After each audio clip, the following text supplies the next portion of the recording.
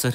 Okay I can understand നിങ്ങൾ ഒരാഴ്ച കഴിഞ്ഞിട്ട് എന്നെ വിളിക്കൂ. സാധനം ഞാൻ ഇറക്കി തരാം ഓക്കെ ശരി.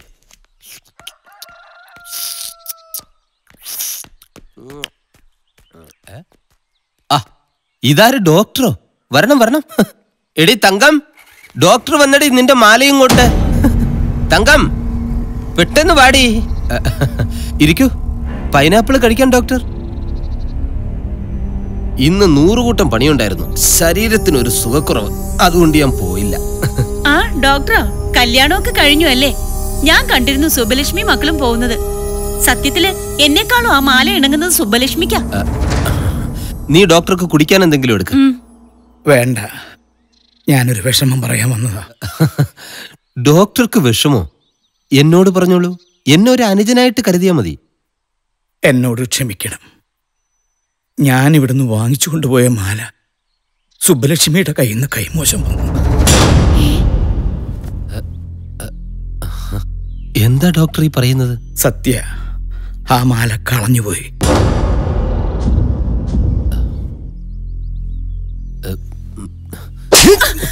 ആരോട് ചോദിച്ചിട്ടാണ് ഈ കഴുത്തി കിടന്ന മാല നീ ഊരി കൊടുത്തത് ഞാൻ ഈ വീട്ടിലുള്ള ആളല്ലേ? എന്നോടൊരു വാക്ക് ചോദിച്ചുകൂടായിരുന്നോ? പത്ത് പവനാണ്. അതെ ഞാൻ ഡോക്ടർ ഒന്നും പറയണ്ട. അവിടെ അൻപതിനായിരം സ്ക്വയർ ഫീറ്റിന്റെ വീട് പണി നടക്കുക. എന്നിട്ട് ഒരു തരി സ്വർണം ഞാൻ ഇവിടെ നിന്ന് എടുത്തിട്ടില്ല. നിങ്ങൾ തമ്മിൽ വഴക്കടിക്കണ്ട. എനിക്കൊരു രണ്ട് ദിവസം രണ്ട് ദിവസം സമയം തന്നാ മതി. എനിക്ക് ഒന്നും കേൾക്കണ്ട. കൊടുത്തവരും വാങ്ങിച്ചവരും തമ്മിൽ ആയിക്കോ. എന്താന്ന് വെച്ചാൽ? മാറി ഇങ്ങോട്ട്. കഷ്ടപ്പെട്ട് കാശുണ്ടാക്കുന്നതിന്റെ വില മറ്റുള്ളവർക്ക് അറിയണ്ടല്ലോ.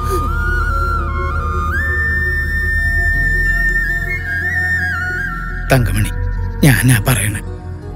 രണ്ട് ദിവസത്തിനുള്ളിൽ ഞാൻ കൊണ്ടുവന്ന് തരാം. അതുവരെ ഒന്ന് ക്ഷമിക്കണം.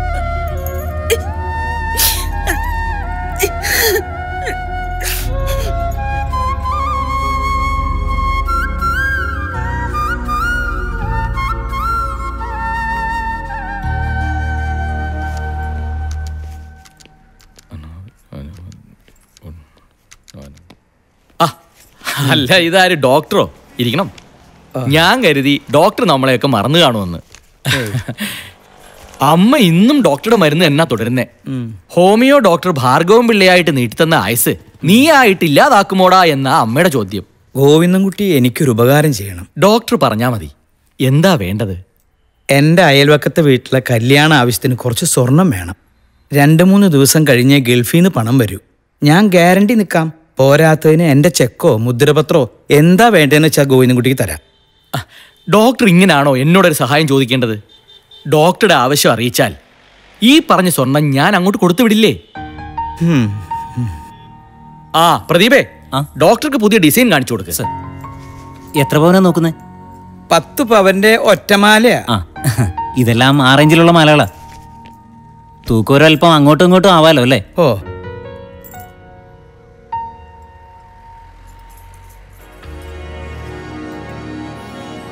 ദാ ഇത് മതി.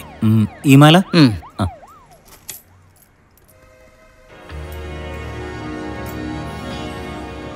പത്തും മിനിസും കാണും. ഇതൊന്ന് തൂക്കം നോക്ക്. ഓ.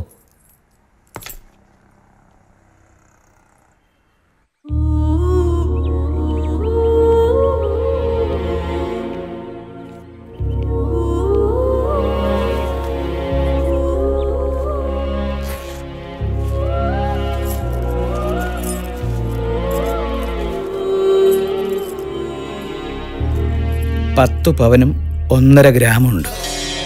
ഇതെവിടുന്ന് സംഘടിപ്പിച്ചു എന്ന് എന്നോട് ചോദിക്കരുത്. കാരണം ഇതിന്റെ പേരിൽ ജയിലിൽ പോകേണ്ടി വന്നാലും അയൽവക്കക്കാരന്റെ മുന്നിൽ കടപ്പെടേണ്ട എന്നേ ഞാൻ കരുതിയുള്ളൂ.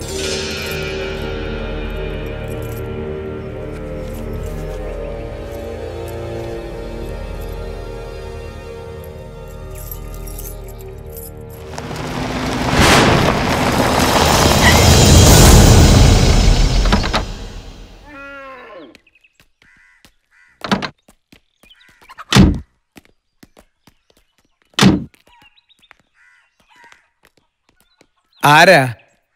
എവിടെന്നാ? കോപ്പറേറ്റീവ് ബാങ്കിൽ നിന്നാ കയറി വരൂ. ബാങ്കിൽ നിന്നെടുത്ത വായ്പയുടെ കാര്യത്തിൽ യാതൊരു പ്രതികരണവും ഇല്ലാത്തതുകൊണ്ട് ബാങ്ക് ഇപ്പൊ നടപടിയുടെ വഴിയില്ല ആരാ വായ്പ എടുത്തേ? എന്താ ഈ പറയണേ? എനിക്കൊന്നും മനസ്സിലാവണില്ല. ഡോക്ടർ ഭാർഗവം പിള്ള നിങ്ങൾ തന്നെയല്ലേ? അതെ. രണ്ട് ലക്ഷം രൂപ വായ്പ എടുത്ത് നിങ്ങൾക്ക് മറക്കാം. ബാങ്കിന് മറക്കാൻ പറ്റില്ലല്ലോ. ഞാനൊരു ബാങ്കിൽ നിന്നും വായ്പ എടുത്തിട്ടില്ല. എനിക്കൊരു ബാങ്കുമായിട്ട് ഇടപാടില്ല പിന്നെ ലോൺ തിരിച്ചു പിടിക്കാൻ ചെല്ലുമ്പോൾ ഞങ്ങൾ കേൾക്കുന്ന സ്ഥിരം പലവേ അത്. ഇതൊന്ന് വായിച്ചു കേൾപ്പിച്ചേ. ഡോക്ടർ ഒന്ന് കേൾക്കട്ടെ. പാലക്കാട് ജില്ലയിൽ മാണിക്കശ്ശേരി പഞ്ചായത്തിൽ മുപ്പത്തിരണ്ടാം വാർഡിൽ കെട്ടിട നമ്പർ നാൽപ്പത്തി ആറ് ബാർ അഞ്ച് സ്ഥിരതാമസക്കാരനായ കേശവൻ പിള്ള വൈദ്യർ മകൻ കെ പി ഭാർഗവൻ പിള്ള സഹകരണ ബാങ്കിൽ നിന്നും ലോൺ നമ്പർ നാനൂറ്റി പന്ത്രണ്ട് രണ്ട് ലക്ഷം രൂപ ചെറുകിട വ്യവസായത്തിനായി വായ്പ എടുക്കുകയും നാളിതുവരെ വായ്പയോ പലിശയോ തിരികെ അടയ്ക്കാത്തതുമായി ബന്ധപ്പെട്ട് കാര്യകാരണങ്ങൾ ബോധിപ്പിക്കുകയോ ചെയ്യാത്ത പക്ഷം ബാങ്കിന് പണം തിരികെ ലഭിക്കുന്നതിനായി ടി ആളുടെ തണ്ടപ്പേര് നമ്പർ പതിനാറ് എഴുന്നൂറ്റി ഒന്നിൽ സർവേ നമ്പർ മുന്നൂറ്റി നാൽപ്പത്തിരണ്ട് ബാർ രണ്ടിൽ പെട്ടതുമായ മുപ്പത്തിയെട്ട് സെന്റ് സ്ഥലവും അതിൽപ്പെട്ട വസ്തുവകകളും ജപ്തി ചെയ്ത് ലേലത്തിൽ വെക്കുവാൻ ബാങ്ക് തീരുമാനിച്ചതായി അറിയിച്ചുകൊള്ളുന്നു. I am really sorry mister ഭാർഗോംപിള്ള നിങ്ങൾക്ക് എന്തെങ്കിലും പറയാനുണ്ടെങ്കിൽ ബോർഡ് മെമ്പർമാരെയോ സീനിയർ മാനേജറെയോ കണ്ട് വിവരം ബോധിപ്പിക്കാം. ഞങ്ങൾക്കൊന്നും ചെയ്യാൻ സാധിക്കില്ല.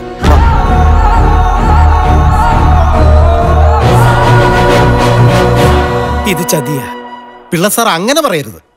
നോമിനേഷൻ ഒപ്പിട്ട കൂട്ടത്തിൽ ഇലക്ഷൻ പ്രചരണത്തിന് പണം ആവശ്യമായി വന്നാൽ എവിടെന്നെങ്കിലും പലിശക്കെടുക്കാൻ പാകത്തിന് ആ വീടിന്റെ ആധാരവും ചില രേഖകളും ഞാൻ ഒപ്പിട്ട് വാങ്ങുന്നത് ശരി തന്നെയാ.